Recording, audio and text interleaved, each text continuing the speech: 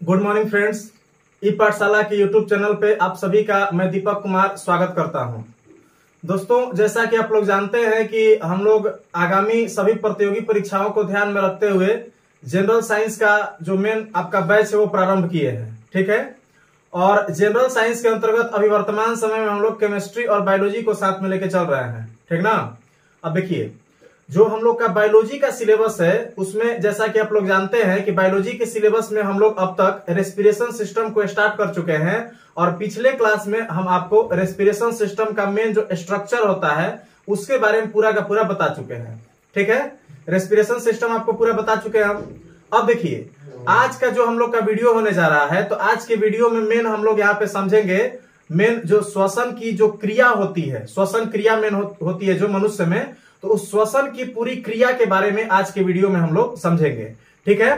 तो चलिए, हम लोग सबसे पहले पहले अब अपने वीडियो को स्टार्ट करते हैं। उससे पहले आपसे एक छोटा सा रिक्वेस्ट है कि अगर आप हमारे चैनल पे नए नए जुड़ रहे हैं तो चैनल को सब्सक्राइब कीजिए और अधिक से अधिक अपने मित्रों के पास में वीडियो को शेयर करिए, जिससे कि और भी अधिक लोगों को इस वीडियो का लाभ मिल सके। ठीक है? और साथ ही साथ हमारा जो यूट्यूब फैमिली जो मेन हम लोग का ई पाठशाला फैमिली वो काफ़ी बड़ा हो सके, उसमें अधिक से अधिक लोग जुड़ सके। ठीक है? तो चलिए, आज के वीडियो को हम लोग स्टार्ट करते हैं। ध्यान दीजिए, आज का जो मेन हम लोग का टॉपिक रहने वाला है भाई, वो क्या है? तो वो है श्वसन क्रिया। क्या है टॉपिक ये है श्वसन क्रिया। ठीक ना? देखो रेस्पिरेशन प्रोसेस रेस्पिरेशन प्रोसेस आज का हम लोग का मेन मुद्दा है। ठीक है? और इसी को मेन हम लोग को पूरा का पूरा आज समझना है, ठीक है ना? तो देखिए, सबसे पहली बात ध्यान दो भाई कि श्वसन क्रिया जो है, इसको हम लोग कैसे पढ़ेंगे, इसको समझिए। देखिए, जब हम लोग मनुष्य के बारे में बात करते हैं, मनुष्य के श्वसन की बात करते हैं तो हम पिछले क्लास में ही आपको डेफिनेशन समझाए थे श्वसन का।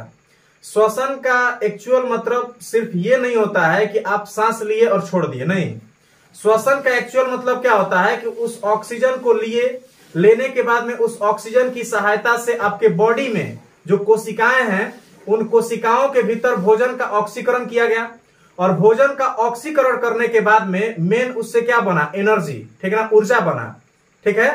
तो देखो ऑक्सीजन को ग्रहण करके उसकी उसकी सहायता से ऊर्जा के बनने तक का जो पूरा का पूरा प्रोसेस है, उस पूरे प्रोसेस को हम लोग क्या कहते हैं? श्वसन कहते हैं, ठीक है ना? तो ध्यान से समझिए कि ये पूरा का पूरा प्रोसेस जो है, ये एक ही बार में नहीं होता है। इसके लिए कुछ स्टेप होते हैं, ठीक ना? श्वसन की क्रिया में कुछ स्टेज होते हैं और उन्हीं स्टेज को, उन्हीं चरणों के हम लोग आज पढ़ेंगे, ठीक है? देखिए, हम लोग अगर अध्ययन के सुविधा की दृष्टि से देखें तो हम लोग मेन जो श्वसन की क्रिया है, उसको मुख्य रूप से हम लोग तीन भागों में बांट करके पढ़ सकते हैं, ठीक है? श्वसन की क्रिया को अध्ययन की सुविधा के दृष्टिकोण से कितने भागों में बांट सकते हैं? तो तीन भाग में। कौन कौन तो देखो, इसमें एक हो जाता है आपका बाह्य श्वसन। क्या हो जाता है? एक हो जाता है आपका बाह्य श्वसन। ठीक है? बाह्य श्वसन क्या होता है? इसको हम बढ़िया से आपको समझाने वाला है। टेंशन मत लीजिए। बाह्य श्वसन के बाद में एक जो है आपका यहाँ पे हो जाता है गैसों का गैसों का परिवहन। क्या होता है? गैसों का परिवहन होता है। ये दूसरा पॉइंट हो जाएगा आपका इसमें। ठीक है ना? दूसरा स्टेज और थर्ड जो स्टेज है, उसको हम लोग कहते हैं अंत श्वसन अंत श्वसन ठीक है? देखो, एक हो गया आपका बाह्य श्वसन, एक गैसों का परिवहन और एक क्या हो गया? अंत श्वसन यही तीन स्टेज हैं जिनमें हम लोग पूरा का पूरा श्वसन का क्रिया जो उसको समझेंगे। ठीक है? ध्यान से समझिए। देखिए, बात को समझना है यहाँ पर जो है, ध्यान से समझिएगा कि ये जो बाह्य श्वसन है, बाह्य श्वसन की क्रिया को ध्यान देना है कि बाह्य श्वसन की क्रिया जो है, इसमें देखिए मेन इसमें रखा किसको जाता है?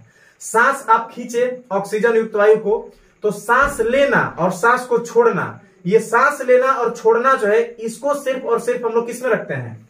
इसको सिर्फ़ और सिर्फ़ हम लोग रखते हैं बाह्य श्वसन में। अब देखिए, यहाँ पे मैंने समझिएगा बात को। सांस जब हम लोग खींचे तो सांस को खींचने के बाद में कहाँ से खींचे? नाक से। और नाक से सांस को खींचे और खींच करके कहाँ पहुँचाए फेफड़ा में। फेफड़ा पहुँचा दी। और फिर जब सांस छोड़ते हैं तो उसके लिए वायु कहाँ से आता है? तो फेफड़ा से ही आता है। तो इसका मेन जो प्रोसेस है, ये कहाँ हो रहा है? फेफड़ा में हो रहा है। हवा को लेकर भी हम लोग फेफड़ा में जा रहा है और हवा को वहाँ से निकाल भी कहाँ से रहे फेफड़ा से ही निकाल रहे हैं। तो फेफड़े में मेन हम लोग यहाँ पे जो बाह्य श्वसन है, ये पूरा का पूरा इसका प्रोसेस फेफड़े के इर्द गिर्द घूमता है। और फेफड़ा को हम लोग कहते हैं फुफ्फुस। इसीलिए जो यहाँ पे बाह्य श्वसन है तो बाह्य श्वसन को हम लोग फुफ्फुस श्वसन भी कहते हैं। क्या कहते हैं? फुफ्फुस श्वसन कहते हैं। समझ गए ना? एक क्या कहते हैं? फुफ्फुस श्वसन कहते हैं। गैसों का जो परिवहन है, इसमें मेन आपको दो चीज़ें पढ़ना होगा, हम आपको बताएँगे। और जो अंत श्वसन की क्रिया है, इसके बारे में आप लोग थोड़ा सा ध्यान दीजिए। अंत श्वसन जो है, यहाँ पर जैसे हम लोग इसको फुफ्फुस श्वसन कह रहे हैं, क्योंकि इसमें जो भी मेन प्रोसेस वो कहाँ हो रहा है? फेफड़ा में हो रहा है, इसलिए इसको फुफ्फुस श्वसन। अब देखो, जो अंत श्वसन की क्रिया है तो अंत श्वसन की क्रिया जो है, ये मेन कोशिका के अंदर होती है, ठीक है ना? अंत श्वसन की क्रिया कहाँ होती है? कोशिका के अंदर होती है, और इसीलिए इसको हम लोग क्या कहते हैं तो इसे हम लोग कोशिकीय श्वसन कहते हैं। क्या कहते हैं? कोशिकीय श्वसन कहते हैं। समझ गया ना? तो देखो, ध्यान से समझो। श्वसन की क्रिया जो है, श्वसन की क्रिया को हम लोग मुख्य रूप से कितने स्टेज में बांट सकते हैं भाई? तो तीन स्टेज में। कौन कौन? बाह्य श्वसन, गैसों का परिवहन और अंत श्वसन। क्लियर है? अब देखो। बाह्य श्वसन चूँकि फेफड़े के द्वारा होता है, इसलिए इसको हम लोग क्या कहते हैं? फुफ्फुस श्वसन कहते हैं। ठीक ना? और अंत श्वसन की क्रिया कोशिका के भीतर होती है, इसलिए इसको क्या कहते हैं? इसे कहते हैं हम लोग यहाँ पर कोशिकीय श्वसन। ठीक ना? इतना समझ में आ गया? अब देखो। साथ के साथ में और चीज़ हम आपको बता दे रहे। देखिए, बाह्य श्वसन में हम क्या बताए कि बाह्य श्वसन का मतलब क्या होता है? कि सांस को खींचना और सांस को छोड़ना, ठीक ना? तो जो सांस को खींचते हैं तो सांस को खींचने की क्रिया को हम लोग कहते हैं यहाँ पर प्रश्वास। क्या कहते हैं? प्रश्वास। और सांस को खींचे, उसके बाद में सांस को छोड़ते भी है ना? तो सांस को छोड़ने की जो क्रिया होती है, उसी को कहते हैं उच्छ्वास। क्या कहते हैं? उच्छ्वास कहते हैं। तो समझ गए बात को ना? यानी कि यहाँ पे निष्कर्ष क्या निकला कि जो आपका बाह्य श्वसन है, बाह्य श्वसन कितने प्रकार से होगा? तो बाह्य श्वसन दो प्रकार से होगा। जिसमें से पहला जो उसको क्या कहिएगा? प्रश्वास कहिएगा। और दूसरा को क्या कहिएगा? उसे उच्छ्वास कहिएगा। ठीक है? अब देखो। गैसों के परिवहन की अगर बात करें तो इसमें भी आपको ध्यान देना है एक दो चीज़। देखो, गैसों के परिवहन की अगर बात कर रहे हैं तो इसमें क्या ध्यान देना है? कि देखिए जब हम लोग श्वसन की क्रिया करते हैं तो श्वसन की क्रिया में मेन हम लोग को दो गैसों पे ध्यान देना पड़ता है। एक तो ऑक्सीजन और दूसरा कार्बन डाइऑक्साइड देखिए ऑक्सीजन जो है ऑक्सीजन को हम लोग ग्रहण करके फेफड़ा में पहुँचा देते हैं। ठीक ना? तो मेन गैसों के परिवहन के अंतर्गत क्या हम लोग को पढ़ना पड़ता है, ये समझिए। गैसों के परिवहन के अंतर्गत हम लोग देखते हैं कि जो फेफड़ा है तो फेफड़ा में तो हम लोग ऑक्सीजन युक्त वायु को पहुँचा दिए है तो खा फेफड़ा में पूरा का पूरा श्वसन हो जाएगा, नहीं। मेन श्वसन की क्रिया ऊर्जा का उत्पादन कहाँ होता है? तो कोशिका के भीतर होता है, ठीक ना? तो कोशिका में पहुंचाना पड़ेगा ऑक्सीजन को ना? तो देखिए, फेफड़ा से ऑक्सीजन को कोशिकाओं में पहुंचाना, ठीक ना? फेफड़ा से ऑक्सीजन को कहा? कोशिकाओं में पहुंचाना, और फिर कोशिका में कोशिकीय श्वसन हो जाएगा। और जैसे ही कोशिकीय शोषण पूरा होगा तो कोशिकीय शोषण के पूरा होने के बाद में बनता है क्या? कार्बन डाइऑक्साइड तो उस कार्बन डाइऑक्साइड को कोशिका में थोड़ी छोड़ दीजिएगा। उसको क्या करिएगा? उसको वहाँ से निकाल के और कहा पहुंचाइएगा? फिर फेफड़ा में। और फेफड़ा से फिर उच्छ्वास की क्रिया के द्वारा बॉडी निकल जाएगा। ठीक है ना? तो देखो, यहाँ पर क्या हुआ कि गैसों के परिवहन लोग क्या पड़ते हैं? तो ऑक्सीजन को कोशिकाओं तक पहुंचाना और फिर वहाँ जो कार्बन डाइऑक्साइड बना, वो कार्बन डाइऑक्साइड को कोशिका में से निकाल के कहा फेफड़ा तक पहुंचाना। ठीक ना? तो कोशिका में ऑक्सीजन को पहुंचाना और कोशिका से निकाल के कार्बन डाइऑक्साइड को फेफड़ा में पहुंचाना, ये पूरा का पूरा प्रोसेस को हम लोग किसके अंतर्गत पढ़ते हैं? गैसों के परिवहन के अंतर्गत। ठीक है? तो इसमें बात को समझिए। इसमें क्या हुआ? एक बार तो ऑक्सीजन को निकाल के फेफड़ा से कहा पहुँचाया? कोशिका में। यानी कि इसमें क्या होता है? एक तो एक होता है ऑक्सीजन का परिवहन। क्या होता है? ऑक्सीजन का परिवहन। पहला हो गया। और दूसरा इसमें किसका परिवहन होता है? तो दूसरा होता है सीओ टू का परिवहन। कौन का होता है? सीओ टू का परिवहन होता है। समझ गए ना? तो देखिए बात को। बात को समझिए। गैसों के परिवहन के अंतर्गत भी हम लोग को क्या क्या टॉपिक पढ़ना है भाई? तो दो गो टॉपिक एक पढ़ना है ऑक्सीजन का परिवहन, दूसरा का क्या पढ़ना है? कार्बन डाइऑक्साइड का परिवहन। ठीक है ना? इसमें पढ़िएगा प्रश्वास और उच्छ्वास, इसमें पढ़िएगा ऑक्सीजन का परिवहन और कार्बन डाइऑक्साइड का परिवहन। दो गो टॉपिक हो गया। अंत श्वसन की अगर हम आपसे बात करें तो इसमें भी मेन आपको ध्यान देना है कि अंत श्वसन की जो क्रिया होती है, इसको हम लोग दो भागों में बांट करके पढ़ते हैं। ठीक ना? अंत श्वसन की क्रिया को कितने भाग में बांट के पढ़ते हैं? तो दो भाग में। कौन कौन? तो देखो एगो जो है, इसको हम लोग कहते हैं यहाँ पर अवायवीय अवायवीय, या इसी को कहते हैं हम लोग अनॉक्सी अनॉक्सी श्वसन। ठीक ना भाई? एगो क्या कहते हैं? अवायवीय या अनॉक्सी श्वसन, जबकि दूसरा जो है, उसको हम लोग कहते हैं वायवीय, या फिर इसी को हम लोग कहते हैं ऑक्सी श्वसन। क्या कहते हैं? ऑक्सी श्वसन कहते हैं। क्लियर है ना? तो देखिए टोटल हम लोग को इतना सारा टॉपिक के बारे में इस वीडियो में पढ़ना है, ठीक है? अब देखो, ये पूरा का पूरा जो फ्लो चार्ट है, इसको पहले आप बना लीजिए कॉपी पे, या फिर इसका स्क्रीनशॉट ले लीजिए, और बाद में इसको अपने नोट्स पे उतार लीजिएगा, ठीक है? चलो, जल्दी से इसका स्क्रीनशॉट ले लो, इसके बाद में हम लोग इससे आगे की चीज़ों को डिस्कस करेंगे। जल्दी से स्क्रीनशॉट लीजिए। हो गया? अब देखो, आगे देखते हैं, इसको मिटा रहे हैं हम। देखिए, ध्यान दीजिए। सबसे पहला जो प्रोसेस है मेन उसको हम लोग समझते हैं। ठीक ना? सबसे पहला जो प्रोसेस है, उसको समझिए। देखिए, सबसे पहल का जो प्रोसेस है, ये कौन सा है? ये है आपका बाह श्वसन। ठीक ना? सबसे जो पहला प्रोसेस है, उसको क्या कहते हैं? बाह्य श्वसन। बाह्य श्वसन की जो क्रिया है, इसी को हम लोग क्या कहते हैं? External external respiration external respiration कहते हैं, ठीक है ना? अब देखिए बात को समझिए। हम बोले क्या?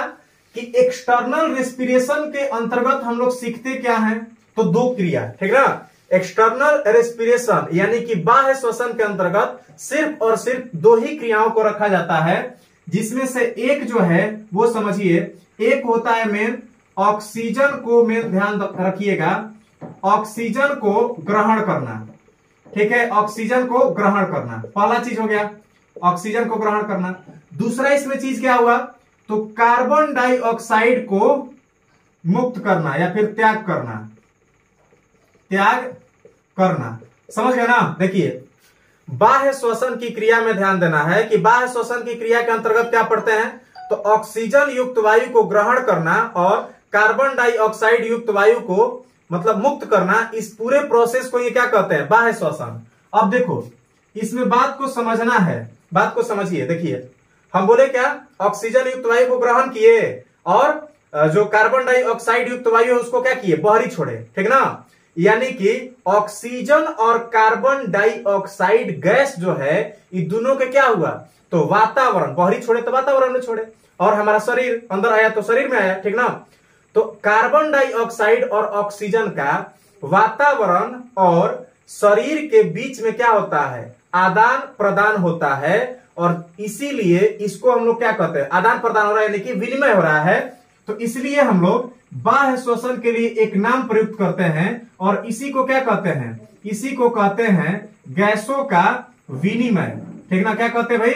गैसों का विनिमय। ठीक ना? बाह्य श्वसन को क्या कहते हैं? गैसों का विनिमय कहते हैं। क्या है कैसे कि इस प्रोसेस में ऑक्सीजन को ग्रहण किया जाता है और कार्बन डाइऑक्साइड को छोड़ा जाता है। यानी कि वातावरण और जो शरीर है, उसके बीच में क्या होता है? गैसों का आदान प्रदान होता है। इसीलिए इसको क्या कहते हैं हम लोग? गैसों का विनिमय कहते हैं। ठीक ना? अब देखो, ध्यान से समझो। अब बात को समझना है कि देखिए, जो यहाँ पर मेन आप समझ रहे हैं कि ऑक्सीजन को ग्रहण करना तो ऑक्सीजन को ग्रहण करने का जो मेन प्रोसेस है तो ऑक्सीजन को खींचे के प्रोसेस को हम लोग क्या कहते हैं? ऑक्सीजन को ग्रहण करने की क्रिया को क्या कहते हैं? इसको कहते हैं हम लोग प्रश्वास कहते हैं। आपको बताया है ना, इसको क्या कहते हैं? प्रश्वास कहते हैं। और ऑक्सीजन को ग्रहण करने का प्रश्वास का है, इसके बाद में कार्बन डाइऑक्साइड को जो छोड़ते हैं तो कार्बन डाइऑक्साइड को छोड़ने की क्रिया को क्या कहते हैं? इसको कहते हैं हम लोग उच्छ्वास कहते हैं। क्या कहते हैं भाई? तो इसको उच्छ्वास कहते हैं। ठीक ना? तो देखो, ये प्रश्वास और उच्छ्वास, बात को समझिए। एकरा के प्रश्वास कहे, एकरा के उच्छ्वास कहे। ठीक ना? अब देखिए तो प्रश्वास और उच्छ्वास जो है, ये दोनों को सम्मिलित रूप से श्वासोच्छ्वास कहते हैं। क्या कहते हैं भाई? इसको श्वासोच्छ्वास कहते हैं। श्वासोच्छ्वास कहते हैं। क्लियर है? समझ गए ना सब लोग? इसको क्या कहते हैं? श्वासोच्छ्वास कहते हैं। तो बात को समझो। समझना है? देखिए। क्या समझे हम लोग कि देखिए, यहाँ पर ऑक्सीजन युक्त वायु को ग्रहण करना क्या कहलाया? प्रश्वास कहलाया। कार्बन डाइऑक्साइड युक्त वायु को छोड़ना क्या कहलाया? उच्छ्वास कहलाया। आई दोनों को जब मिला दिए तो क्या कहे? श्वासोच्छ्वास कहे। यानी कि बाह्य श्वसन को ही हम लोग क्या कहते हैं? तो इसको श्वासोच्छ्वास भी कह सकते हैं। क्लियर है ना? तो बाह्य श्वसन के गोरी नाम क्या मिल गया आपको? श्वासोच्छ्वास मिल गया। क्लियर है? अब देखो। एक चीज़ और समझा रहे हैं। इसके बाद में हम क्या बताएँ कि प्रोसेस किसमें होता है? तो ये होता है फेफड़ा में। कोची में होता है? फेफड़ा में होता है। और फेफड़ा को कहते हैं हम लोग, यहाँ पर ध्यान दीजिए, इसको क्या कहते हैं? तो इसको कहते हैं फुफ्फुस। क्या कहते हैं? फुफ्फुस। ठीक ना? इसको क्या कहते हैं? फुफ्फुस कहते हैं। और चूँकि बाह्य श्वसन फेफड़ा में होता है, इसीलिए इसको हम लोग एक और नाम देते हैं और इसको क्या कहते हैं? फुफ्फुस श्वसन। इसको क्या कहते हैं? फुफ्फुस श्वसन कहते हैं। समझ गए ना सब लोग? बताइए। इतना चीज़ सबको समझ में आया कि नहीं? बोलो। इतना चीज़ सबको समझ में आ गया? समझ में आ गया? अब देखो, जल्दी से इसका स्क्रीनशॉट ले लो, इसके बाद हम लोग इससे आगे की जो क्रिया है उसको समझेंगे। जल्दी से इसका स्क्रीनशॉट ले लो भाई। जल्दी से स्क्रीनशॉट लो, इसके बाद में इससे आगे की चीज़ों को हम लोग समझेंगे।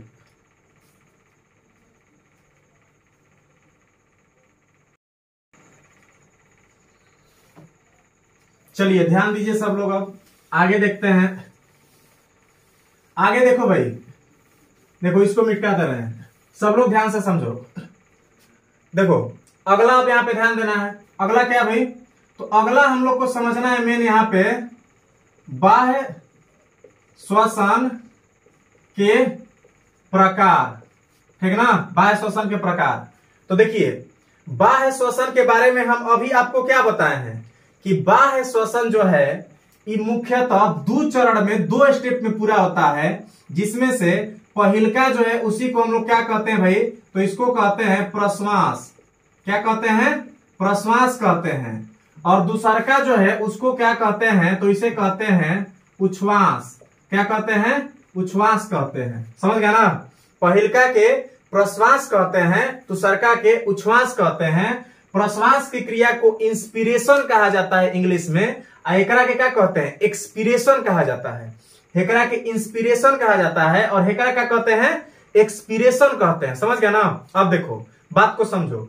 देखो, प्रश्वास के मतलब जैसा कि हमें जस्ट आप लोग को कुछ देर पहले बताए हैं कि प्रश्वास के मतलब क्या होता है बउआ तो प्रश्वास का मतलब होता है ऑक्सीजन युक्त वायु को ग्रहण करना। ठीक ना? क्या होता है? ऑक्सीजन युक्त वायु को ग्रहण करना। अब देखो, यहाँ पे हम आप लोग को एक पॉइंट बताए क्या लिखे हैं हम? कि ऑक्सीजन युक्त वायु को ग्रहण करना। समझ गया ना? क्या लिखे हैं? ऑक्सीजन युक्त वायु को ग्रहण करना हम ई नहीं लिखे हैं कि ऑक्सीजन को ग्रहण करना क्यों? इसके पीछे का रीजन समझो। देखो, हम लोग के नाक में ऐसा कोई सिस्टम उस्टम नहीं लगा, ऐसा कोई मशीन नहीं लगा है कि वायुमंडल में से खाली ऑक्सीजन को छान छान के खींचेगा। समझ गया ना? यानी कि हम लोग जो सांस लेते हैं तो उसमें क्या आता है? उसमें वायुमंडलीय हवा आता है। और जो वायुमंडलीय हवा है, उस हवा में आप जैसा कि जानते हैं कि सबसे ज़्यादा मात्रा में क्या होता है तो 78 परसेंट उसमें पाया जाता है क्या? तो 78 परसेंट उसमें पाया जाता है नाइट्रोजन। इसके बाद में 21 परसेंट क्या होता है? ऑक्सीजन होता है। तो ध्यान से समझिए, यानी कि हम लोग क्या करते हैं? हम लोग प्योर ऑक्सीजन को नहीं लेते हैं। जब प्रश्वास की क्रिया में हवा को खींचते हैं तो हम लोग पूरा का पूरा प्योर ऑक्सीजन नहीं लेते हैं, बल्कि क्या लेते हैं? तो हम लोग यहाँ पे ऑक्सीजन युक्त वायु लेते हैं, यानी कि उसमें मेन जो वायु का संगठन है, उसके अनुसार वायु रहेगा। उसमें आपका ऑक्सीजन भी रहेगा, सबसे ज़्यादा नाइट्रोजन रहेगा कार्बन डाइऑक्साइड भी एटलीस्ट उसमें होता है, सब होता है। समझ गए ना? बात को समझ गए सब लोग? इस पर अभी चर्चा करेंगे। देखिए, इसमें क्या होता है? हम लोग ऑक्सीजन युक्त वायु को ग्रहण करते हैं। तो ऑक्सीजन युक्त वायु को ग्रहण करना क्या कहलाता है? अगर प्रश्न पूछे तो क्या कहिएगा? उसे हम लोग प्रश्वास कहते हैं। समझ गए ना? अब देखो इसके बाद में इसमें जब आइएगा तो इसका मतलब क्या हुआ कि कार्बन डाइऑक्साइड युक्त वायु को मुक्त करना मुक्त करना। देखो भाई, इसमें भी क्या लिखा है कि कार्बन डाइऑक्साइड युक्त वायु को मुक्त करना। इसके कहने का मतलब क्या है? कि जितना इधर से लिए हैं तो उसमें से खाली ऑक्सीजन में उपयोग हुआ है? बाकी सब तो बचा हुआ है। तो उसमें कार्बन डाइऑक्साइड क्या होता है? उसमें मिल करके और तब जाके बाहरी निकलता है। ठीक? समझ गया ना? तो इसलिए ध्यान देना है कि कार्बन डाइऑक्साइड युक्त वायु जो है, उसको बाहर निकलना क्या कहलाएगा? उच्छ्वास कहलाएगा। समझ गया ना? ऑक्सीजन युक्त वायु को ग्रहण करना कहलाता है प्रश्वास और कार्बन डाइऑक्साइड युक्त वायु को छोड़ना क्या कहलाता है? ये कहलाता है उच्छ्वास। समझ गया ना? अब देखिए, बात को यहाँ पे समझना है पूरा। अब ये प्रश्न बनेगा, एक प्रश्न बनेगा कि जो प्रश्वासित वायु होती है, प्रश्वासित वायु तो जो प्रश्वासित वायु है उसका संगठन क्या होता है? यानी कि प्रश्वास की क्रिया में जो हम लोग वायु को घींचे, उसका संगठन क्या होता है? तो देखो, इसका अगर संगठन समझिएगा कि प्रश्वासित वायु का संगठन क्या होता है तो इसमें आपको ध्यान देना है कि इसका संगठन जो है, इसमें ध्यान दीजिए कि सबसे ज़्यादा, यहाँ पर देखो, यहाँ पर क्या होता है तो नाइट्रोजन होता है। नाइट्रोजन कितना भाई? ये अठहत्तर परसेंट होता है। सबसे अधिक होता है। सबसे क्या होता है? अधिक होता है। समझ गए ना? इसके बाद होता है आपका ऑक्सीजन। ऑक्सीजन कितना होता है भाई? इक्कीस परसेंट मात्र। और इसके बाद इसमें ध्यान देना है कि इसमें भी आपका क्या होता है? कार्बन डाइऑक्साइड इसमें होगा। और कार्बन डाइऑक्साइड कितना होता है तो देखो, कार्बन डाइऑक्साइड जो है, यहाँ पे ध्यान दीजिए, ये होता है ज़ीरो दशमलव ज़ीरो तीन प्रतिशत। समझ गए ना? यानी कि आप समझिएगा बात को, अगर किसी, देखो, कोनो को जो हुआ ना है तो बस ये पूछ दो कि जो सांस लेते हैं, ओकरा में कार्बन डाइऑक्साइड कितना होता है? सब रटा हुआ है कि ऑक्सीजन खींचते हैं। ऑक्सीजन खाली खींच रहे हो। क्या खींच रहे हो? कार्बन डाइऑक्साइड को भी खींच रहे हो। तो पूरा का पूरा देखो। तो इसमें कार्बन डाइऑक्साइड कितना होता है भाई? प्रश्वासित वायु, जो सांस हम लोग लेते हैं तो उसमें कितना वायु होता है? Carbon dioxide. तो उसमें कार्बन डाइऑक्साइड ऑक्साइड होता है ज़ीरो दशमलव ज़ीरो तीन प्रतिशत। समझ गया ना? अब देखो, उसी तरह से अगर आपसे पूछे कि जो उच्छ्वासित वायु है, ठीक ना? यानी कि जो हम लोग सांस छोड़ते हैं तो उसमें जो हवा निकलती है, सांस छोड़ने के दौरान जो हवा हमारे शरीर से बाहरी निकलता है तो उसमें कितना रहता है? मतलब उसका संगठन कैसा होता है? उसमें कितना नाइट्रोजन होता है? उसमें कितना ऑक्सीजन होता है? और उसमें कितना कार्बन डाइऑक्साइड होता है? अगर ये पूछे तो आपको ध्यान देना है कि जो उच्छ्वासित वायु है तो इसका अगर हम लोग संगठन देखेंगे तो इसमें ध्यान देना है कि इसमें आपका ध्यान दीजिए कि इसमें भी सबसे ज़्यादा कितना रहेगा तो नाइट्रोजन जो है, ये कितना रहेगा? अठहत्तर प्रतिशत। सबसे सबसे अधिक हो गया। समझ गया ना? ये क्या है? सबसे अधिक है। ये चीज़ ध्यान रखना है। नाइट्रोजन की मात्रा उच्छ्वासित वायु में भी क्या होता है? सबसे ज़्यादा होता है। क्योंकि देखो, नाइट्रोजन जितना लिया शरीर उतना ही छोड़ दिया फिर। तो जितना लिया उतना छोड़ दिया। इसके कारण इसमें क्या हो गया? नाइट्रोजन जो कहते हैं, अठहत्तर परसेंट लिया तो अठहत्तर परसेंट छोड़बो करेगा।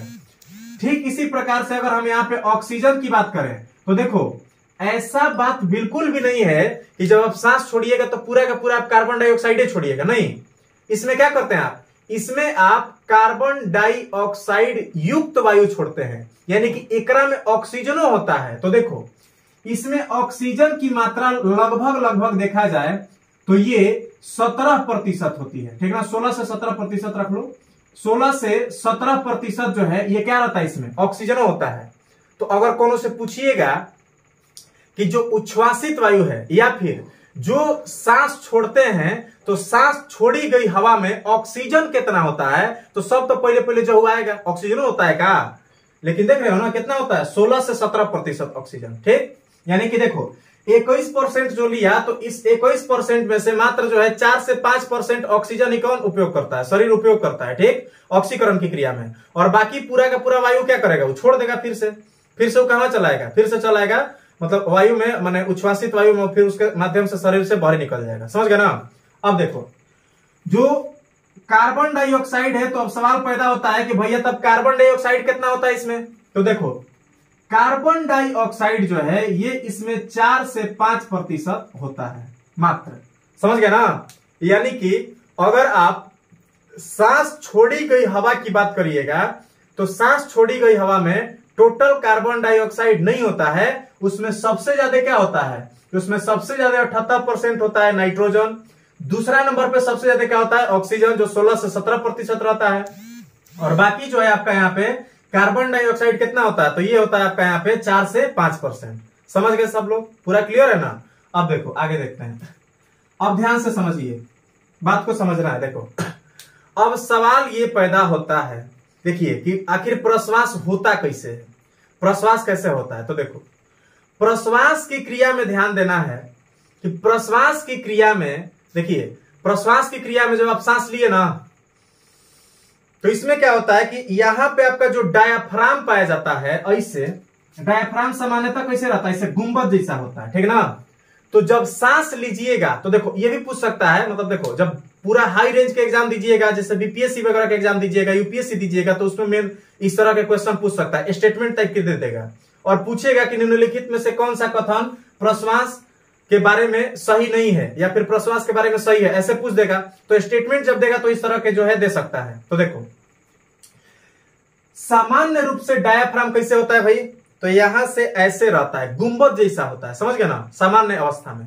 लेकिन जब प्रश्वास की क्रिया होती है तो प्रश्वास की क्रिया में ध्यान देना है कि जो डायाफ्राम है, ध्यान से समझो कि जो डायाफ्राम है डायाफ्राम क्या हो जाता है? ये जो है, ये चपटा हो जाता है। कैसा हो जाता है भाई? ये चपटा हो जाता है। मतलब नीचे की तरफ़ दब जाता है। क्लियर है ना? अभी क्या ऊपर उठा हुआ है। सामान्य अवस्था में क्या होता है? उठा हुआ होता है। लेकिन, जब यहाँ पे, जब प्रश्वास की क्रिया होती है, जब आप सांस लेते हैं तो क्या होता है? नीचे की तरफ़ दब जाता है। नीचे की तरफ़ दब गया। साथ ही साथ जो पसली है, इसमें परिवर्तन क्या हुआ? तो डायाफ्राम नीचवा दब गया। और जो पसली है आपके शरीर का पसलियाँ जो हैं तो इसके बारे में ध्यान देना है कि पसलियाँ क्या होती हैं? ऊपर उठ जाती हैं। ऊपर उठती है। क्या होती है? ऊपर उठती है। समझ गया ना? देखो, जब प्रश्वास की क्रिया करिएगा तो क्या होगा? जब सांस लिए तो क्या हुआ? डायाफ्राम गया नीचे, और पसली जो आपके बॉडी का है, जो ये पसली पसली बारह जोड़ी टोटल होता है तो पसलियाँ क्या हो जाती हैं? पसलियाँ ऊपर की ओर उठती हैं। तो देखो, ये पसली ऊपर उठा, आई गया नीचे। तो नीचे गया ये और पसलिया ऊपर उठ गया तो फिर क्या हुआ कि अंदर में ये पूरा का पूरा जो ये स्पेस है, इसको जो वक्ष गुहा कहते हैं तो वक्ष गुहा का आयतन क्या होगा? बढ़ जाएगा। यानी कि इस प्रोसेस में क्या होगा? तो जो वक्ष गुहा है, वक्ष गुहा तो ध्यान दीजिए, वक्ष गुहा का आयतन जो है, ये क्या होता है? इसका आयतन क्या होगा भाई? तो इसका आयतन बढ़ेगा, ठीक ना? इसका आयतन क्या हो जाता है? बढ़ जाता है। समझ गया ना? काय बढ़ रहा है? क्योंकि डायाफ्राम निचवा गया। और ये ऊपर उठ गया। तो पूरा का पूरा जैसे इतना वैसे था, इसमें पूरा ऐसे उठ गया। तो क्या होगा बीचों में स्पेस बढ़ गया ना? यानी कि आयतन इसका क्या हो गया? बढ़ गया। अब देखो, ध्यान से समझो। जब आयतन बढ़ गया, और उसमें उतना हवा नहीं है, जितना आयतन बढ़ा, जैसे इतना था तो इतने में हवा था, और जब ऐसे बढ़ गया तो इसमें क्या हो गया? वायु का प्रेशर क्या होगा कम हो गया। यानी कि इसमें ध्यान देना है, हवा के प्रेशर कम हुआ ना? देखो आयतन जब बढ़ेगा तो हवा का प्रेशर क्या हो जाएगा? कम हो जाएगा। जब आयतन कम करोगे तो हवा का प्रेशर क्या हो जाएगा? बढ़ जाएगा। तो आयतन बढ़ता है, यानी कि हवा का प्रेशर क्या हो जाता है? कम हो जाता है। यानी कि अगर पूछे कि फेफड़ा में प्रश्वास की क्रिया के दौरान कैसा दाब उत्पन्न होता है? तो देखो, इसमें ध्यान देना है कि कैसा? निम्न वायु दाब उत्पन्न होता है।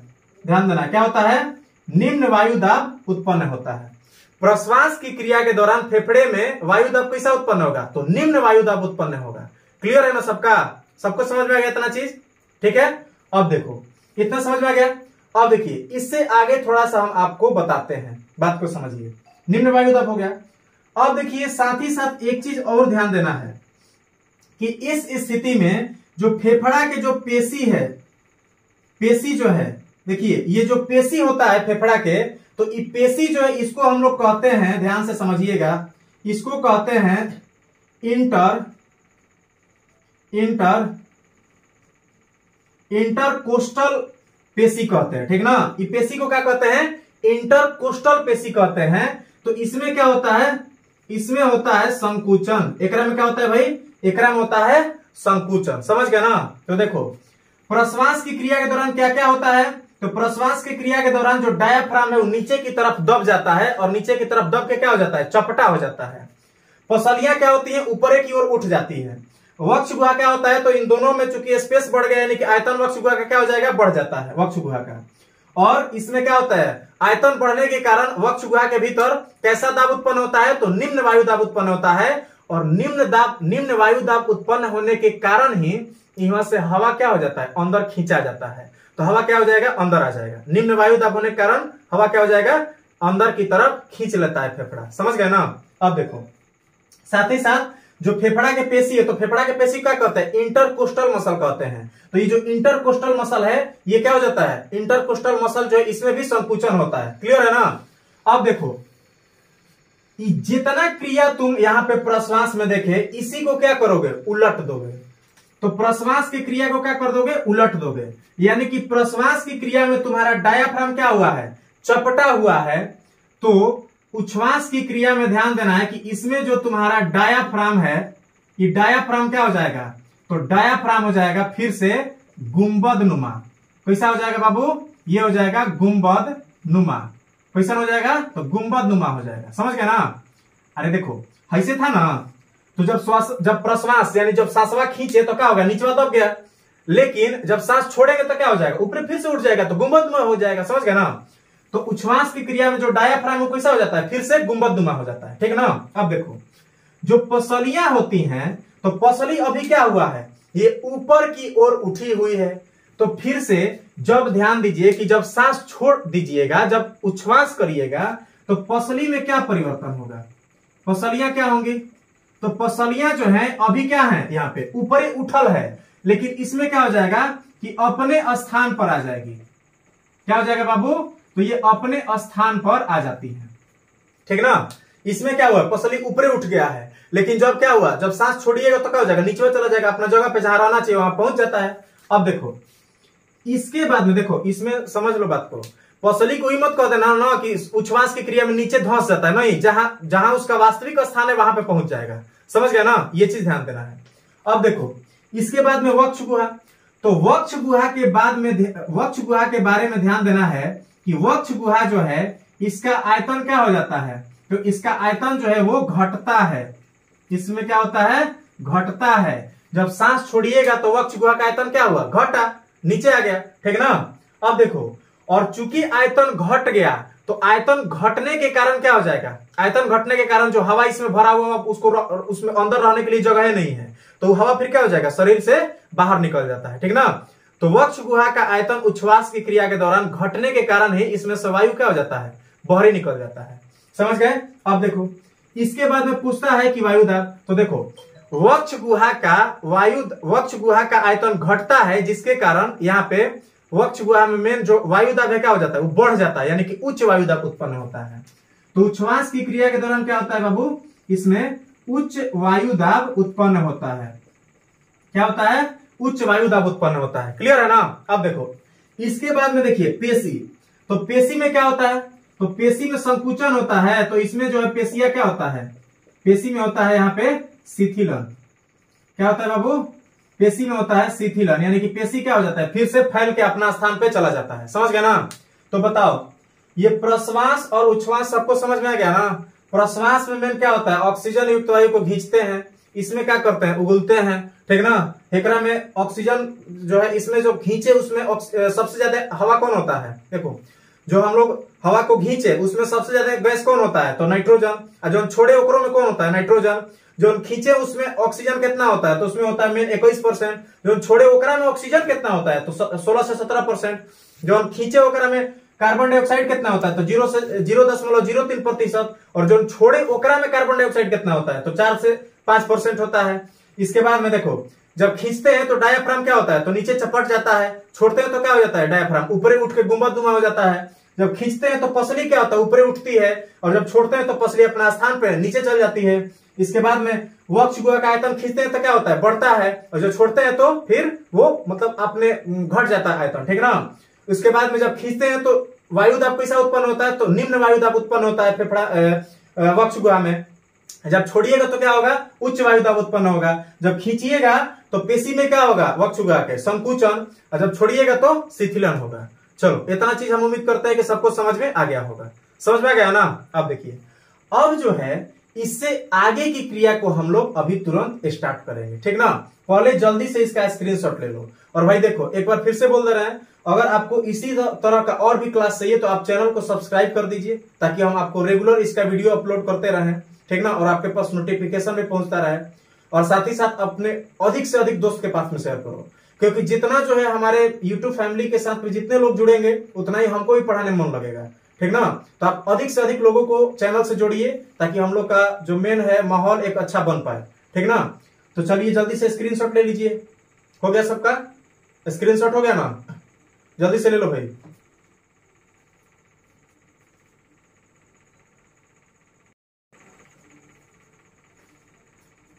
चलिए, अब हम इसको मिटकाते हैं। देखो अब ध्यान से समझो सब लोग। देखो बाबू अब जो है, अब यहाँ पर ध्यान देना है। देखिए, अभी तक हम लोग क्या सीखे? तो अभी तक हम लोग सीखे हैं कि किस प्रकार से मेन यहाँ पे, किस प्रकार से मेन अब, अभी तक हम लोग क्या सीखे हैं कि किस प्रकार से मतलब प्रश्वास होता है और फिर किस प्रकार से उच्छ्वास की क्रिया होती है। ये समझ गए हम लोग? अब देखो, इसके बाद हम लोग को क्या सीखना है? वो चीज़ समझिए। ऑफ़ हो गया भाई? रुको तो थोड़ा सा। ये ऑन हो जा रहा है। वेट एक मिनट रुक जा बाबू।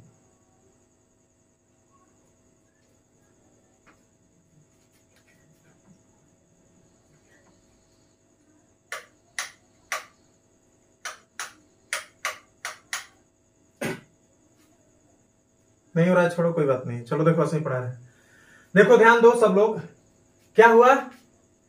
कि हम लोग प्रश्वास और उच्छ्वास की क्रिया के दौरान क्या देखें? कि प्रश्वास में खींच रहे हैं और उच्छ्वास में छोड़ रहे हैं। अब देखो, अब जो अगला हम लोग को मेन जो स्टेज देखना है, वो सेकेंड स्टेज है। और सेकेंड स्टेज में क्या सीखना है हम लोग को? तो सेकेंड स्टेज में सीखना है हम लोग को गैसों का परिवहन। क्या सीखना है? गैसों का परिवहन। समझ गए ना? गैसों का परिवहन। अब देखो, गैसों के परिवहन के अंतर्गत हम आपको क्या बताए हैं? कि गैसों का जो परिवहन होता है, ये मुख्य रूप से कितना स्टेज में होता है बाबू? तो ये होता है दो स्टेज में। सबसे पहले पहले हम लोग क्या सीखते हैं कि ऑक्सीजन का परिवहन कैसे होता है। ठीक ना? सबसे पहले पहले हम लोग ऑक्सीजन का परिवहन सीखते हैं। और इसके बाद में दूसरा क्या सीखते हैं? तो दूसरा सीखते हैं कार्बन डाइऑक्साइड का परिवहन। ठीक ना? तो देखो, जो गैसों का परिवहन है, इसको हम लोग दो भाग में बांट के पढ़ते हैं। सबसे पहला भाग में पढ़ते हैं O2 का परिवहन, यानी कि ऑक्सीजन का परिवहन। समझ गए ना? और दूसरा का जो है, ये होता है कार्बन डाइऑक्साइड का परिवहन। समझ गए? देखो बाबू, ये दोनों चीज़ को बात बारी बारी से हम आपको समझा रहे हैं। सबसे पहला जो प्रोसेस है, वो हम लोग हेडिंग डाल देते हैं, ठीक ना? ऑक्सीजन का परिवहन। ठीक ना? सबसे पहले पहले क्या देखेंगे बाबू? तो सबसे पहले पहले हम लोग देखेंगे ऑक्सीजन का परिवहन। कि ऑक्सीजन का परिवहन जो है, हमारे शरीर में किस प्रकार से होता है? तो देखो, ध्यान से समझो, गैसों का परिवहन का पूरा का पूरा अगर बात करिएगा तो ध्यान से समझिए, ये पूरा का पूरा जो गैस है, इसका परिवहन किसके माध्यम से होता है? तो रक्त के माध्यम से होता है। कोची के माध्यम से होता है? रक्त के माध्यम से। ठीक ना? रक्त के माध्यम से। गैसों का परिवहन किसके माध्यम से होता है? तो गैसों का परिवहन रक्त के माध्यम से होता है। रक्त परिसंचरण के माध्यम से होता है। क्लियर है? अब देखो, कैसे होता है? सबसे पहले पहले हम लोग ऑक्सीजन के परिवहन की बात कर रहे हैं। देखिए ऑक्सीजन का परिवहन जो है, ये रक्त में उपस्थित दो प्रकार के कंपोनेंट के द्वारा होता है, समझिए। ऑक्सीजन का परिवहन कितने प्रकार के कंपोनेंट के द्वारा होता है? तो दो प्रकार के कंपोनेंट के द्वारा होता है, जिसमें ध्यान दीजिए, एक होता है आरबीसी एक क्या होता है? आरबीसी और एक होता है रक्त प्लाज्मा। क्या होता है बाबू? एक होता है रक्त प्लाज्मा। चूँकि देखो ऑक्सीजन जो है, ऑक्सीजन जल में कम घुलनशील होता है, इसलिए इसका मैक्सिमम जो ट्रांसपोर्टेशन होता है, वो किसके माध्यम से किया जाता है? तो मैक्सिमम ट्रांसपोर्टेशन आरबीसी के द्वारा किया जाता है, जबकि थोड़ी बहुत मात्रा में इसका ट्रांसपोर्टेशन किसके द्वारा किया जाता है? तो रक्त प्लाज्मा के द्वारा किया जाता है, क्योंकि रक्त प्लाज्मा क्या है? तो रक्त प्लाज्मा में जल की मात्रा अधिक होती है, ठीक ना? और आरबीसी में क्या पाया जाता है वो? हीमोग्लोबिन। तो देखो, आरबीसी में पाया जाता है एक पिगमेंट जिसको कहते हैं हम लोग हीमोग्लोबिन। क्या कहते हैं बाबू? हीमोग्लोबिन कहते हैं। समझ गए ना? आरबीसी में क्या पाया जाता है? तो आरबीसी में पाया जाता है हीमोग्लोबिन, और इसी हीमोग्लोबिन के द्वारा हम लोग देखें तो इसी हीमोग्लोबिन के द्वारा क्या होता है? ऑक्सीजन का परिवहन होता है मेन समझ गए ना? अब देखो, इसको समझाएँगे हम। तो देखिए, जो हीमोग्लोबिन के द्वारा जो मेन रक्त का परिसंचरण किया जाता है तो लगभग अंठानवे दशमलव पाँच परसेंट जो ऑक्सीजन है तो शरीर में परिवहन किए जाने वाले टोटल ऑक्सीजन का लगभग अंठानवे दशमलव पाँच प्रतिशत जो भाग है, अंठानवे दशमलव पाँच प्रतिशत जो हिस्सा है, वो कौन ट्रांसपोर्ट करता है? तो वो करता है आपका यहाँ पे हीमोग्लोबिन ठीक है? लेकिन लगभग एक दशमलव पाँच परसेंट जो है, ध्यान से समझिए, एक दशमलव पाँच परसेंट जो आपका ऑक्सीजन है, उसका परिवहन कौन करता है? तो उसका परिवहन करता है रक्त प्लाज्मा समझ गया ना? एक दशमलव पाँच परसेंट ऑक्सीजन का परिवहन कौन करता है? रक्त प्लाज्मा करता है। क्लियर है? अब देखो, बात को समझो। देखिए, इतना समझ में आ गया ना? अब देखो, इसके बाद में ध्यान देना है आपको, थोड़ा सा। देखिए, जो हीमोग्लोबिन है, हीमोग्लोबिन के साथ ही क्या कर रहा है यहाँ पे? अंठानवे दशमलव पाँच परसेंट। कभी कभी प्रश्न ये बनता है कि भैया, हीमोग्लोबिन के साथ है, ये कैसे परिवहन होता है ऑक्सीजन? तो देखो, हीमोग्लोबिन जो है, हीमोग्लोबिन तो हीमोग्लोबिन जो है, इसके साथ में ऑक्सीजन जुड़ता है। ठीक ना? हीमोग्लोबिन के साथ में कौन जुड़ता है? ऑक्सीजन।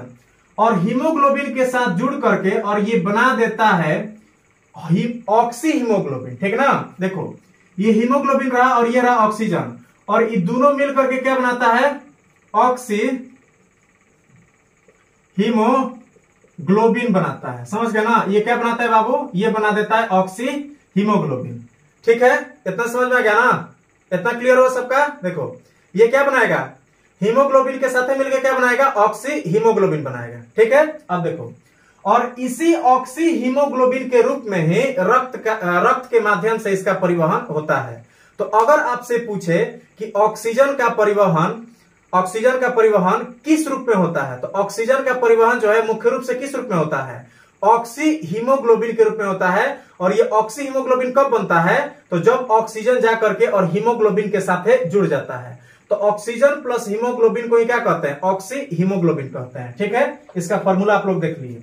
अब देखो, थोड़ा सा बात को समझो। हीमोग्लोबिन के बारे में दो तीन फैक्ट आपको बता दे रहे हैं। देखिए हीमोग्लोबिन जो है, ये मूल रूप से अगर देखा जाए तो मूलतः जो है, ये नीले, बैंगनी रंग का होता है। कैसा होता है? बैंगनी देखिए, बहुत जगह आप लोग पढ़े होंगे कि हीमोग्लोबिन के रंग क्या होता है? लाल। तो देखो, लाल इसका रंग मूल रूप से नहीं होता है। इसका मूल जो रंग होता है हीमोग्लोबिन का, वो कैसा होता है? बैंगनी होता है। हीमोग्लोबिन का मूल रंग कैसा होता है? बैंगनी होता है, लेकिन जैसे ही ऑक्सीजन से मिलता है, ठीक ना? तो ऑक्सीजन से जैसे ही मिलेगा तो ऑक्सीजन से मिलने के बाद में ये कैसा हो जाता है?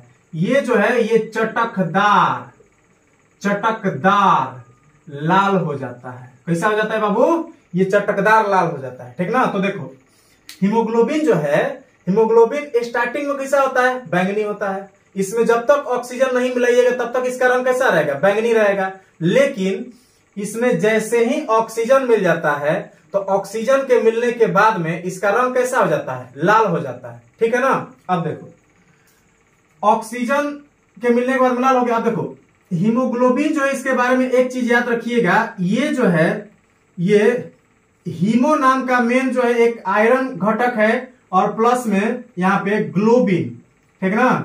ग्लोबिन नाम का जो है प्रोटीन तो हीमो क्या है? ये है आपका यहाँ पे आयरन आयरन घटक है और ये जो ग्लोबिन है ग्लोबिन क्या होता है बाबू? ये होता है आपका यहाँ पे प्रोटीन तो ये आयरन यानी कि आयरन और लोहा सॉरी आयरन यानी कि लोहा और जो ग्लोबिन प्रोटीन है तो इन दोनों से मिलकर ही कौन बना होता है? ये दोनों के मिला के बना होता है मेन यहाँ पे हीमोग्लोबिन। समझ गए ना?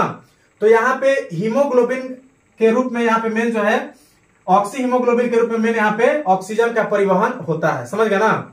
ये कैसे होता है? तो अब इसको हम आपको समझाने जा रहे हैं। ये किस रूप में हो रहा है? ये समझ में आ गया ना? अब कैसे कोशिका तक पहुँचता है, यही बात हम आपको समझाने जा रहे हैं। देखो, होता क्या है कि जैसे हम आपको बताए थे कि एक होता है फेफड़ा, ठीक ना बाबू लंग्स ये फेफड़ा में पाया जाता है वायु वायु कोष।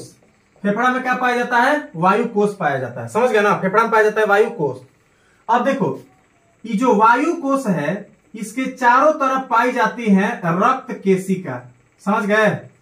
एक चारों तरफ़ क्या पाया जाता है बाबू? रक्त केसिका रक्त केसिकाएँ जो है, ये सबसे पतली, सबसे कम व्यास की रक्त वाहिनियाँ होती हैं। ठीक ना? तो क्या होता है? ये वायु कोष के चारों ओर क्या पाया जाता है? रक्त केसिका अब देखो, ये जो रक्त केसिका है ना बाबू, देखो, इधर बना रहे हैं, देखो, फेफड़ा होता है। तो फेफड़वा जो है, फेफड़वा में क्या पाया जाता है तुम्हारा? वायु कोष। और वायु कोष के चारों ओर क्या है? रक्त केसिका है। देखो रक्त केसिका में पाया जाता है रक्त। रक्त केसिका में क्या पाया जाता है बाबू? रक्त पाया जाता है। और हम आपको बताए हैं कि जैसे ही आप प्रश्वास की क्रिया करिएगा तो प्रश्वास की क्रिया में ऑक्सीजन युक्त वायु को घींच घांच के फेफड़ा में पहुँचा देते हैं और फेफड़ा में कहा रहता है उजा करके। तो फेफड़ा में जो वायु कोष है, उसी वायु कोष में मेन आपका रहता है। ठीक ना? समझ गए सब लोग? फेफड़ा में रहता है, फेफड़ा में कहा वायु कोष में। तो देखो, वायु कोष में तुम्हारा क्या है बाबू? यहाँ पे ऑक्सीजन। और रक्त में क्या है? रक्त में है आपका यहाँ पे हीमोग्लोबिन।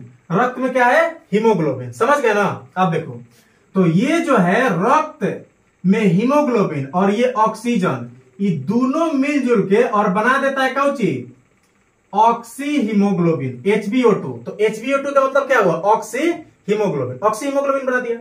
और यही ऑक्सी हीमोग्लोबिन जो है कहाँ चल गया? रक्त केसिका में। ऑक्सी हीमोग्लोबिन कहाँ चल गया? रक्त केसिका में। बात को समझो, देखो मेन ऑक्सीजन रक्त केसिका में ही मेन बनता है, समझ गए ना? देखो, रक्त केसिका में ऑलरेडी रक्त है, और रक्तों में क्या है? यहाँ पे हीमोग्लोबिन है।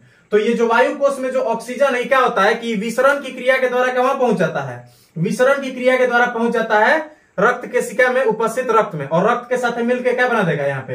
एचपीओ यानी कि ऑक्सी हीमोग्लोबिन अब देखो, ये जो रक्त केसिका है, ये रक्त केसिका आगे चल के और बनाती है, यहाँ पर ध्यान दीजिए, रक्त केसिका जो है, रक्त केसिका के माध्यम से ये पहुँचता है फुफ्फुस सिरा में। कहा फुफ्फुस फुफ्फुस सिरा में। कहा पहुँचता है बाबू? फुफ्फुस सिरा में। देखो जब हम आपको परिवहन चैप्टर बताएँगे तो परिवहन चैप्टर के दौरान ये पूरा डिटेल आपको हम बताएँगे, ठीक ना?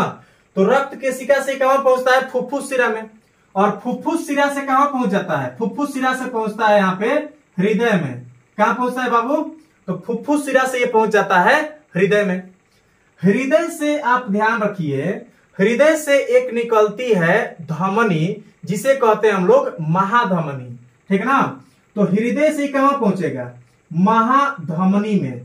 हृदय से कहाँ पहुंचेगा? महाधमनी में। और महाधमनी से पहुँच जाता है, जो धमनी होती है शरीर में तो धमनी में। और देखो, ध्यान से समझो। महाधमनी जाके आगे कच्ची बढ़ जाती है, धमनी में, ठीक ना? और धमनी जब आगे बढ़ती है, और धमनी जब उत्तक में प्रवेश करती है, धमनी जब उत्तक में प्रवेश करती है तो उत्तक में प्रवेश करने के बाद में धमनी किसमें बढ़ जाती है? तो ये बढ़ जाती है धमनिका में। कोची में बाबू? धमनिका में। धमनी जब उत्तक में प्रवेश करेगी तो कोची में बढ़ जाएगी धमनिका में। तो ये जो यहाँ पे ऑक्सीजन, यानी कि ऑक्सी हीमोग्लोबिन जो है, ये रक्त के माध्यम से कहा पहुँच गया? धमनिका में। धमनिका आगे चल के बढ़ जाती है रक्त केसिका में। कौची में बढ़ जाती है बाबू? रक्त केसिका में। समझ गया ना? रक्त केसिका में। और ये जो रक्त केसिका है तो रक्त केसिका के एनियो कोशिका है। ठीक है ना? इसके एनियो कोशिका है और फिर इसके एनियो कोशिका है और फिर इसके एनियो कोशिका है और फिर इसके एनियो कोशिका है। तो देखो, ध्यान से समझो। यानी कि रक्त के केशिकाएँ जो है, वो डायरेक्ट किससे जुड़ी होती है? कोशिका से। तो देखो यहाँ पे बन गया ऑक्सी ऑक्सीमोग्लोबिन कहा हुआ इवल रक्त केशिका। में इवल रक्त केशिका से फुफ्फुस में गया। जो फुफ्फुस सिरा कौची तो जो फेफड़ा से जो सिरा जोड़ता है, हृदय को सिका कहता है फुफ्फुस तो फुफ्फुस में फुफ्फुस के माध्यम से फेफड़ा से वो निकल के कहा चल गया? हृदय में। हृदय में चल गया। हृदय से एक महाधमनी निकलती है, जो कहा जाती है? पूरे बॉडी में सप्लाई करती है शुद्ध रक्त को ऑक्सीजनित रक्त को। देखो, जना में ही सुनो, जना में ऑक्सी हीमोग्लोबिन बन गया तो ऑक्सी हीमोग्लोबिन युक्त रक्त को ही क्या कहते हैं? शुद्ध रक्त कहते हैं। तो शुद्ध रक्त के कौन पहुंचाती है? शरीर में महाधमनी तो हृदय से रक्त निकल के कहा चल गया? महाधमनी। और रक्त के माध्यम से ऑक्सी हीमोग्लोबिन भी कहा चल गया? महाधमनी में। महाधमनी से फिर कहा चल गया? धमनी में। धमनी से फिर कहा चल गया? धमनिका। धमनिका चिमट जाता है। धमनिका में। तो धमनिका में चल गया। धमनिका से रक्त के सिका में। और क्या बताया हम? कि रक्त केशिका डायरेक्ट किससे जुड़ी होती है? कोशिकाओं से। समझ गया ना? तो रक्त केशिका किससे जुड़ी है? कोशिकाओं से। अब देखो। जैसे ही ऑक्सी हीमोग्लोबिन रक्त केशिका के माध्यम से कोशिकाओं के कांटेक्ट में आता है तो यहाँ पर जो यहाँ पे आप देख पा रहे हैं HbO2 यानी कि ऑक्सी हीमोग्लोबिन तो ये ऑक्सी हीमोग्लोबिन फिर से क्या हो जाता है? ब्रेक हो जाता है। यहाँ पे ब्रेक होता है कोची कोची के रूप में। तो हीमोग्लोबिन प्लस में ऑक्सीजन के रूप में। समझ गया ना कोची के रूप में? तो हीमोग्लोबिन और ऑक्सीजन के रूप में ये क्या हो जाता है? ब्रेक कर जाता है, टूट जाता है। और इसके बाद में ई वाला जो ऑक्सीजन देख रहे हो ये कहाँ चलाएगा? कोशिका के भीतर। जितना कोशिका देख रहे हो ना इस सब कोशिका में कौन चल जाएगा? ऑक्सीजन ठीक? और ऑक्सीजन यहाँ पे पहुँचने के बाद में फिर क्या करेगा? तो कोशिकीय शोषण करेगा। यहाँ पहुँचने के बाद में क्या करेगा? कोशिकीय शोषण और कोशिकीय शोषण की क्रिया करने के बाद में क्या करेगा? तो कोशिकीय शोषण की क्रिया करने के बाद में इसमें से क्या बनेगा? Carbon dioxide. और उहे वाला कार्बन डाइऑक्साइड के फिर क्या करेगा? तो वो वाला कार्बन डाइऑक्साइड को फिर कोशिका से बाहर निकालेगा और कोशिका से बाहर निकाल के फिर किसमें मिल जाएगा? और यहाँ पे हीमोग्लोबिन में, ठीक ना? तो अब देखो, यहाँ तक ये जो प्रोसेस बताइए, सब क्या है? मेन ये ही आपका जो है ऑक्सीजन का परिवहन है। ऑक्सीजन का परिवहन बताइए। ऑक्सीजन का परिवहन जो है, ये किस रूप में होता है? तो ऑक्सी हीमोग्लोबिन के रूप में। मैक्सिमम जो ऑक्सीजन का परिवहन है, वो किसके द्वारा होता है? तो आरबीसी में उपस्थित हीमोग्लोबिन के द्वारा। हीमोग्लोबिन का रंग मूल रूप से कैसा होता है? तो बैंगनी होता है। ऑक्सीजन मिला देने पर कैसा हो जाता है? सुर्ख लाल हो जाता है, ठीक ना? चटकदार लाल हो जाता है, ठीक? ऑक्सी हीमोग्लोबिन जो है, यहाँ पर ध्यान दो। एक और चीज़ ध्यान रखना कि हीमोग्लोबिन जो है तो हीमोग्लोबिन के एक अणु में चार गो ऑक्सीजन जोड़े की क्षमता होता है। यह भी ध्यान रखना है। एक हीमोग्लोबिन के अणु में कितना ऑक्सीजन जोड़ने की क्षमता होता है? तो चार गो ऑक्सीजन अणु को जोड़ने की क्षमता होती है। ये भी आपको ध्यान रखना है, ठीक है? समझ में आ गया? अब देखो तो ये हो गया। इसके बाद में क्या बताया? कि जब इसका परिवहन होता है तो परिवहन होते समय ध्यान देना है कि परिवहन होते समय सबसे पहले पहले क्या होगा?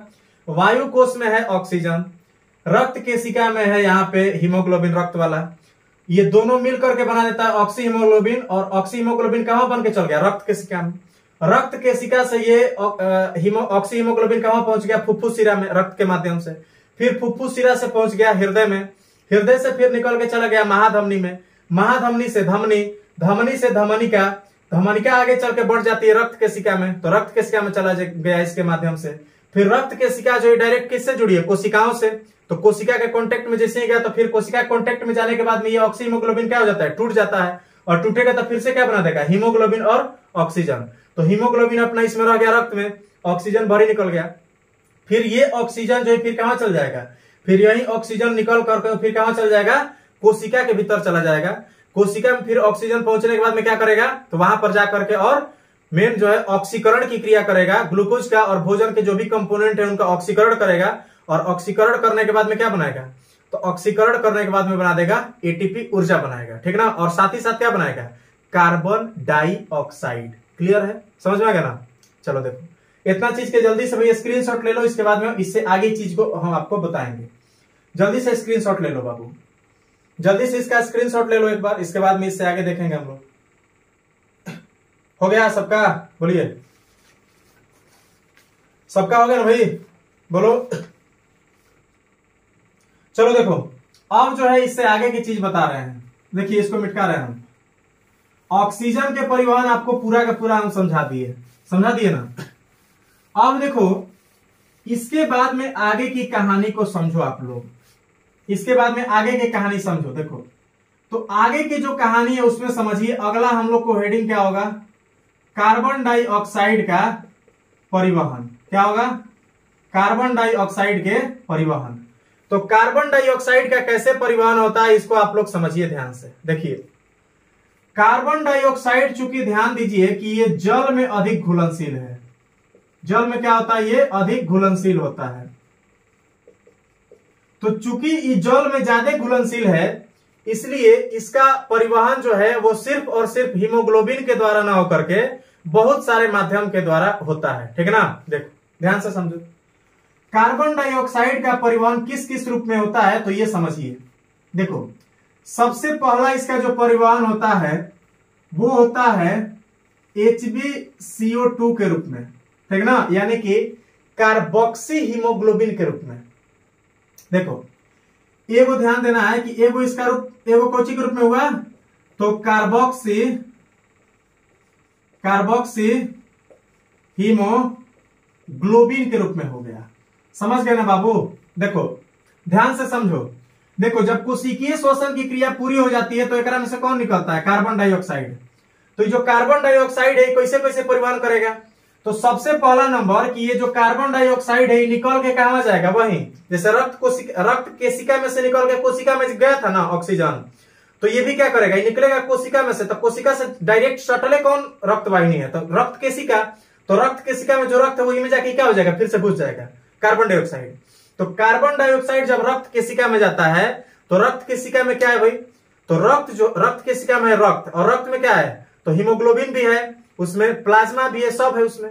तो देखो, ये क्या करता है कि कार्बोक्सी हीमोग्लोबिन के रूप में भी इसका परिवहन होता है। तो आपसे प्रश्न पूछेगा कि कार्बोक्सी हीमोग्लोबिन जो होता है तो कार्बोक्सी हीमोग्लोबिन के रूप में कितने परसेंट कार्बन डाइऑक्साइड का परिवहन होता है? तो देखो, लगभग 10 से 20 प्रतिशत जो कार्बन डाइऑक्साइड है, ठीक ना? तो लगभग 10 से 20 परसेंट कार्बन डाइऑक्साइड का परिवहन किस रूप में होता है? तो कार्बोक्सी हीमोग्लोबिन के रूप में होता है। समझ गए ना? लगभग 10 से 20 परसेंट जो कार्बन डाइऑक्साइड है, उसका परिवहन किस रूप में होता है? तो कार्बोक्सी हीमोग्लोबिन के रूप में होता है। ये चीज़ आपको ध्यान रखना है, ठीक है? अब देखो, और कैसे होता है? तो देखिए, इसके बाद में ध्यान देना है कि इसका जो यूज़ है, देखिए, इसका ध्यान देना है कि एक तो हो गया यहाँ पे आपका जो है कार्बोक्सी हीमोग्लोबिन के रूप में। दूसरा जो इसका परिवहन होता है, ये कार्बोनिक अम्ल के रूप में होता है। कौची के रूप में, बाबू? तो ये हो जाता है कार्बोनिक अम्ल के रूप में। ठीक ना? कौची के रूप में होता है? कार्बोनिक अम्ल के रूप में। देखो कैसे ध्यान से देखो। जैसे देखो, जब रक्त में गया तो रक्त में क्या गया है? कार्बन डाइऑक्साइड और रक्त में उपस्थित क्या होता है? प्लाज्मा रक्त में क्या होता है? प्लाज्मा और ये प्लाज्मा जो है तो प्लाज्मा में क्या होता है? H two O H two होता है ना? तो देखो तो ये रक्त प्लाज्मा में उपस्थित एच टू के साथ में मिल जाता है। देखो पहल का मेथड ही हो गया दूसरा का मेथड तो लोग बता रहे हैं। तो रक्त प्ला, रक्त प्लाज्मा में जो H2O है तो उस H2O के साथ में मिल जाता है और मिल के बनाता है H2CO3 क्या बना देता है भाई? तो बना देता है H2CO3 और ये जो H2 H2CO3 है इसी को हम लोग क्या कहते हैं बाबू? इसको कहते हैं कार्बोनिल ठीक ना? कार्बोनिल अम्ल कहते हैं। एकरा क्या कहते बाबुआ? एकरा कहते हैं कार्बोनिल अम्ल। तो समझ गए ना? तो एक तो तुम्हारा कार्बोक्सी हीमोग्लोबिन के रूप में परिवहन हो गया। दूसरा काउची के रूप में हो गया। कार्बोनिल अम्ल के रूप में परिवहन हो गया। और कार्बोनिल अम्ल के रूप में आपको ध्यान देना है कि कार्बोनिल अम्ल के रूप में लगभग सात परसेंट जो है, लगभग कितना परसेंट? तो लगभग सात परसेंट जो कार्बन डाइऑक्साइड है तो उसका परिवहन शरीर में किस रूप में होता है? तो कार्बोनिल अम्ल के रूप में होता है। समझ गए ना? सबसे यहाँ पे ध्यान दीजिए कि यहाँ पे कार्बोक्सी हीमोग्लोबिन के रूप में कितना? तो 10 से 20 परसेंट हुआ। कार्बोनिल अम्ल के रूप में कितना हो गया? सात परसेंट हो गया। तीसरा का मेथड समझो। इसके बाद में इसका परिवहन जो है, ये होता है बाई कार्बोनेट के रूप में। बाई कार्बोनेट के रूप में। कौची के रूप में भाई? तो ये बाई कार्बोनेट के रूप में। देखो, कैसे? बात को समझो। देखो बाई कार्बोनेट के रूप में कैसे होता है तो बात को समझिए। देखिए, ये जो यहाँ पर कार्बन डाइऑक्साइड आया ना तो कहा आ गया? रक्त में। रक्त में जैसे ही आया तो रक्त में क्या था पहले से तुम्हारा? H2O था। H2O के साथ मिलकर क्या बना दिया? तो H2CO3 बना दिया, यानी कि कार्बोनिल अम्ल बना दिया। ठीक ना? कार्बोनिल कार्बोनिल अम्ल बना दिया। ठीक? अब देखो। ये जो कार्बोनिल अम्ल है बबुआ इसको समझो। ये जो कार्बोनिल अम्ल है H2CO3 तो ये फिर क्या हो जाता है कि जब भी इसमें कोई लवण वगैरह आता है, कौची? लवण वगैरह, जैसे नीमक उमक है ना? नीमक उमक है उसमें। नीमक है ना? बोलो, नीमक है। जैसे मान के चलो यहाँ पे तो नीमक आ गया मान के चलो। NaCl आ गया मान के चलो। NaCl आ गया। तो जैसे ही ई आया तो एकरा से क्या करेगा? तो देखो ये क्या करेगा कि ये जो है यहाँ पर यहाँ पर जो सोडियम है सोडियम को ले लेगा और सोडियम को लेके NaHCO3 बना देगा। और साथे साथे क्या बनाएगा? तो देखो साथे साथे क्या बना देगा? प्लस में HCl बना देगा। साथे साथे क्या बना देगा? HCl बना देगा। ठीक? तो इस तरह से मेन ध्यान देना है कि देखो पहले पहले डायरेक्ट इसको समझ लो ना। मेन तुमको हम कार, बाइकार्बोनेट लवण बना के दिखा रहे हैं। देखो देखो। सबसे पहले पहले ध्यान दो कि जो H2CO3 तुम्हारा है तो ये क्या होता है कि H प्लस और H प्लस और कौची में CO3 माइनस आयन में टूट जाता है। और ये जो तुम्हारा HCO3 माइनस ठीक ना? HCO3 माइनस आयन में टूट जाता है। और ये जो तुम्हारा HCO3 माइनस जो आयन है, इसी को तो कहते हैं बाइकार्बोनेट ठीक? तो ये जो बाइकार्बोनेट है, ये क्या करता है कि रक्त में उपस्थित जो धात्विक परमाणु है, जो खनिज के रूप में है, खनिज लवण के रूप में तो खनिज लवण के रूप में पाए जाने वाले धात्विक परमाणु को क्या करेगा? अपना साथ खींच लेगा और खींच के बना देगा धात्विक मेन जो है यहाँ पे कार्बोनेट बाई कार्बोनेट बना देगा। और फिर उसके रूप में क्या हो जाएगा? ये शरीर से बाहर निकल जाएगा, ठीक ना? आ जाएगा फेफड़ा तक आ जाएगा? अब देखो, ध्यान से समझो। तो होता क्या है, प्रश्न पूछेगा कि कितना परसेंट कार्बन डाइऑक्साइड का परिवहन बाई कार्बोनेट के रूप में होता है तो देखो, लगभग सत्तर प्रतिशत जो कार्बन डाइऑक्साइड है, इसका परिवहन कौची के रूप में होता है। बाई कार्बोनेट के रूप में होता है हमारे शरीर में। लगभग सत्तर लगभग सत्तर प्रतिशत जो तुम्हारा यहाँ पे कार्बन डाइऑक्साइड है, उसका कौची के रूप में परिवहन होता है बाई कार्बोनेट के रूप में। तो अगर आपसे प्रश्न पूछे कि सबसे अधिक मात्रा में, सबसे अधिक मात्रा में कार्बन डाइऑक्साइड का परिवहन हमारे बॉडी में किस रूप में होता है तो क्या होगा आंसर? बाई कार्बोनेट के रूप में जो है बाई कार्बोनेट लवण के रूप में मेन आपका यहाँ पे इसका परिवहन होता है। समझ में आ गया ना? अब देखो, आगे। इसके बाद में एगो और ही आपको ध्यान देना है। एगो इसमें और ध्यान रखो, चौथा मेथड चौथा जो मेथड है, इसमें ध्यान देना है कि बाकी जो भी मेन आपका जो कार्बन डाइऑक्साइड है, ये देखिए, ये जो है, ये कार्बामीन कार्बामीन कार्बा कार्बामीन जो है यौगिक। कार्बामीन यौगिक के रूप में मेन इसका परिवहन होता है, ठीक ना? तो कार्बामीन यौगिक के रूप में ध्यान देना है। कार्बामीन यौगिक के रूप में भी पूछेगा कि कितना परसेंट? तो कार्बामीन यौगिक के रूप में ध्यान देना है कि लगभग इतना होकला के बाद में जितना बच गया उस सब कोची के रूप में? कार्बामीन यौगिक के रूप में। ये मैक्सिमम जो है तेईस परसेंट तक हो सकता है। मैक्सिमम कितना परसेंट तक हो सकता है? तो तेईस परसेंट तक हो सकता है। ठीक है? अब देखो, इतना चीज़ सब नहीं के पूछा गया ना? इतना समझ में आ गया? अब देखिए, इसमें मेन हम आपको एक चीज़ बता दे रहे हैं कि आखिर इसका पथ क्या होता है? कैसे कैसे जाता है? तो देखो, सबसे पहले पहले क्या था भाई? रक्त केसिका ठीक ना? तो रक्त केसिका जो है, एक तरफ़ तो तुम्हारा धमनिका से जुड़ा है, लेकिन जब अशुद्ध रक्त को लेके चलता है तो ये एक तरफ़ किससे जुड़ा होता है? तो एक तरफ़ से जुड़ा होता है ये सीरिका से। समझ गया ना? कोचिस जुड़ा होता है बाबू? सीरिका से। इसको हम डिटेल आपको जब परिवहन चैप्टर पढ़ाएँगे तो उसमें बताएँगे। तो रक्त केसिका में सबसे पहले पहले जितना मटेरियल देख रहे हैं सब कहाँ बन गया? रक्त केसिका में। रक्त केसिका से, रक्त केसिका में जैसे ही ये सब बन गया तो बनने के बाद में उस रक्त को क्या कहते हैं? अशुद्ध रक्त। तो अशुद्ध रक्त जो है, यहाँ पे रक्त केसिका से निकल के कहा चल गया? सिरिका में। सिरिका से भी निकलता है। और सिरिका से निकल के कहा पहुंचेगा? तो सिरिका से निकल के पहुँचता है ये सीरा में। सीरा सीरा पहुँच गया। सीरा से पहुँचता है महासिरा में। कहा पहुँचता है बाबू? महासिरा में। महासिरा से ये पहुँच जाता है, देखो। महासिरा से पहुँचता है ये यहाँ पे हृदय में। कहा पहुँचता है बाबू? हृदय में पहुँचता है। और हृदय से ये पहुँच जाता है कहा हृदय से पहुँचता है, देखो। एक पाया जाता है हृदय में फुफ्फुस धमनी पाया जाता है। ठीक ना? तो हृदय में फुफ्फुस धमनी और इस फुफ्फुस धमनी के माध्यम से कहाँ पहुँच जाता है? फेफड़ा में पहुँच जाता है, ठीक? और फेफड़ा में जाकर फिर से क्या हो जाएगा? जवन जवन जैसे जैसे गया है, सब जो है, सब में से कार्बन डाइऑक्साइड क्या हो जाता है? फिर से टूट जाता है। यानी कि देखो, ये जो यहाँ पे जैसे ही फेफड़ा के पास गया ना तो फेफड़ा के पास गया, फेफड़ा में जो फेफड़ा में बताया था ना, फेफड़ा में क्या पाया जाता है? मैं फेफड़ा में वायु कोष के चारों ओर रक्त केसिका तो वे रक्त केसिका में पहुँचा हुआ फेफड़ा में, ठीक? तो ओहेजा जाने के बाद में यहाँ पे जो कार्बोक्सी हिमोग्लोबिन यानी कि मेन जो तुम्हारा यहाँ पे एच जो बना है, ये फिर से टूट जाता है और क्या बना देता है? एच प्लस में सीओ टू बना देता है और फिर सीओ टू कहाँ चल जाता है? फेफड़ा के वायु कोष में, ठीक? इसके बाद में देखो, यहाँ पे तुम्हारा जो है कार्बोनिल अम्ल बना है तो कार्बोनिल अम्ल फिर से क्या हो जाता है? रिवर्स गया और टूट जाता है। एच और कार्बन डाइऑक्साइड में। कार्बन डाइऑक्साइड फिर से कहा चल गया? कार्बन डाइऑक्साइड चल गया, फिर से तुम्हारा यहाँ पे मतलब चल गया कहा तो कार्बन डाइऑक्साइड तुम्हारा चल जाएगा फेफड़ा के वायु कोष में। तो देखो, यहाँ से भी कार्बन डाइऑक्साइड फेफड़ा के वायु कोष में हेजिको से कहा चल गया? फेफड़ा के वायु कोष में। और यहाँ से फिर से रिवर्स गियर मारो और फिर से टूट टाट के कहा चल जाएगा? फेफड़ा के वायु कोष में। तो इस तरह से पूरा का पूरा जो है वायु कोष में पहुँच जाता है और फिर वायु कोष से फिर क्या हो जाएगा? तो वायु कोष से इसका जो है वायु कोष से फिर क्या हो जाएगा? जब सांस छोड़िएगा तो माने उच्छ्वास की क्रिया के द्वारा ये शरीर से बाहर निकल जाता है कार्बन डाइऑक्साइड ठीक है? तो हम उम्मीद करते हैं कि पूरा का पूरा जो आज का वीडियो है, आपको समझ में आ गया होगा। अगर सब कुछ समझ में आ गया है तो एक बार वीडियो को लाइक कर दीजिएगा, अगर वीडियो अच्छा लगा हो तो। और हमारे चैनल को सब्सक्राइब कर दीजिएगा, ठीक है? तो चलिए आज की वीडियो को हम लोग यहीं पे समाप्त करते हैं। जय हिंद।